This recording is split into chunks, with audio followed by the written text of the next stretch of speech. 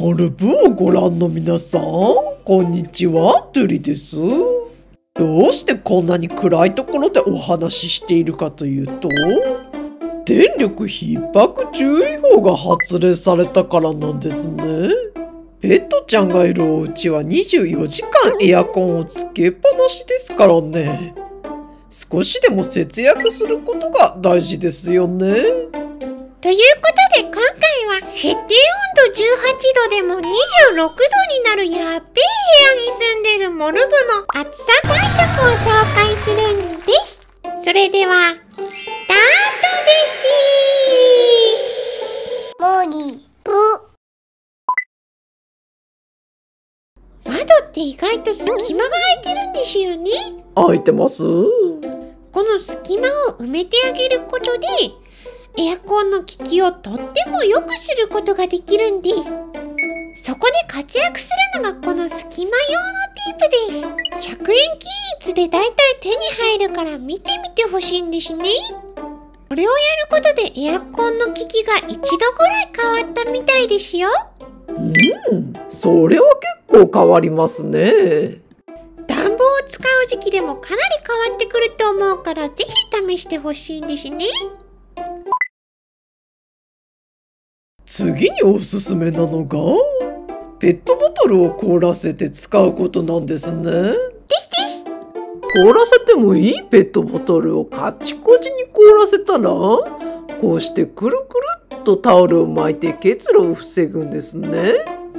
こうやって上の方に置いておいてもらえれば即席冷え冷えスポットの完成なんですね。冷え冷冷たい空気は下に落ちていきますからね。モルちゃんもそのうち気づいてそこでくつろぐようになってくれると思いますよ。え最高です。ちなみに、凍らせたペットボトルは湿度を下げる効果もあるんです。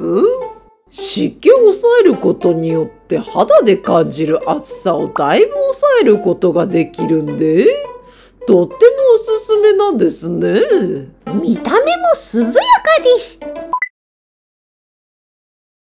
次におすすめなのがこの窓用のシェードなんです。夏になるとこれをするお宅もたくさん見かけるんですよね。うん、見かけます。カーテンだけじゃしのぎきれないときは、このシェードを使うとかなり体感温度が変わってくると思うんです。最大3度ま上昇を防ぐことができるらしいですよ。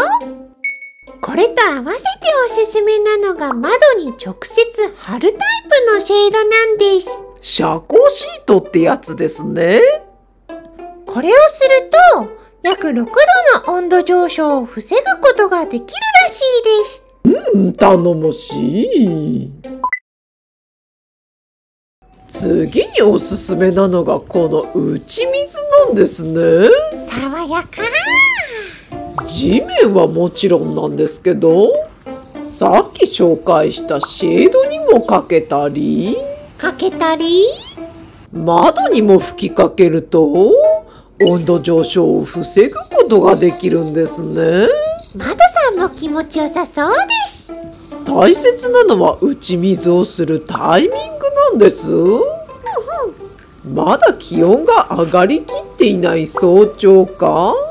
気温が下がり始める夕方がおすすめなんです？暑い時間にやってもすぐに蒸発してしまいますからね。うん、了解です。最後に少し番外編で、モルブが使っているおすすめの冷え冷えグッズを紹介するんです。うん、ルリがくつろいでたんです。この大きいマットはダイソーの300円商品です。うん、高級ですね。最近ママキュンが買ってきてくれたんですけど、結構冷たく感じるからおすすめなんです。